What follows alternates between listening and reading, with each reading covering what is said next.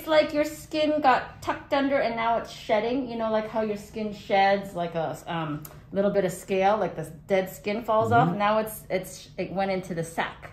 It went into this balloon. Am I explaining that well? Spanish. Una pelota. Ajá. Pelota. see? Yeah. the- Oh. 20-year-old oh skin. my gosh. Mustard. Gosh. What does that look like? I was not if, Oh you, if God. I know, Curry mustard.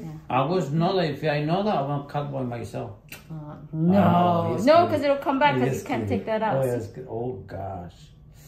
Oh, that's, that's, it's okay. that's It's not so bad. gross. a Oh little my bit. so part of it it is squeezed out. It was like a little bean. See, here's a sac.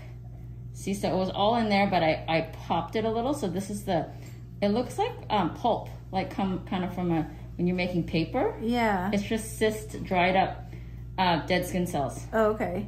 So this is the though. sac that we got. So we got the whole thing out. Oh, yeah, good. it filled up that whole thing. It was like a bean, Sheesh. like a jumping bean. Oh, Oh wow. it's got a little nubbin on him too. Oh wow. You want to open it? I guess so. Sure. I'm gonna It's turn Halloween into alcoholic, almost. so right. That's all. That's what's gonna happen. It's like uh, the consist. Uh, pilar cyst is usually a consistency of an olive.